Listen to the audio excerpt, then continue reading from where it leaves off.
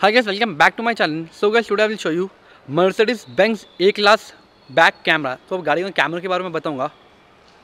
गाड़ी के अंदर सिर्फ़ आपको एक ही कैमरा मिल जाता है वो भी रिवर्स कैमरा रिवर्स कैमरा यहाँ पर आप प्लेस देख सकते हैं। आपको गाड़ी के अंदर रिवर्स कैमरा इधर मिलता है पॉपअप कैमरा है। जब मैं रिवर्स हूँ ऑटोमेटिक कैमरा आ जाएगा बाहर। आपको मैं बताऊँगा। तो अगर गाड़ी के अंदर आ गया मैं। अब मैं डायरेक्ट मैं रिवर्स बटन दबाऊँगा। सॉरी तो रिवर्स करने से गाड़ी ये आ गया रिवर्स कैमरा यहाँ पर आपको कुछ एडजस्ट देखने को मिल जाते हैं कैमरे के अंदर.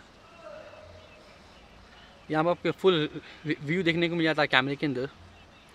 और यहाँ पर आपके कुछ ऐसा मोड देखने को मिल जाते हैं.